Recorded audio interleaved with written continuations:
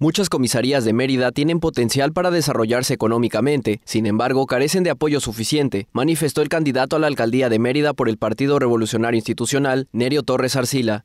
Al recorrer la comisaría de Sierra Papacal, dijo que su objetivo es encontrar el talento de cada comisaría. Y, así a cada una de las comisarías encontrarles una vocación que puedan, eh, en lo que ellos ya estaban haciendo, simplemente ser fortalecidos con el gobierno federal, gobierno estatal y gobierno municipal. Visitando casa por casa los habitantes de la comisaría, registró sus peticiones e inquietudes.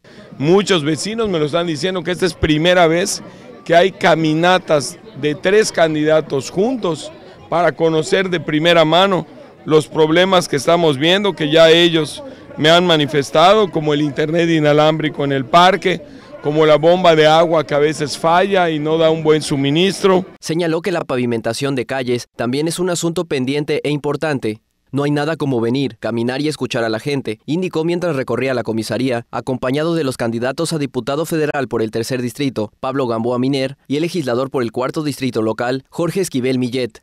Con imágenes de José Luis Cámara, información de Ana Pot, Noticias Día a Día.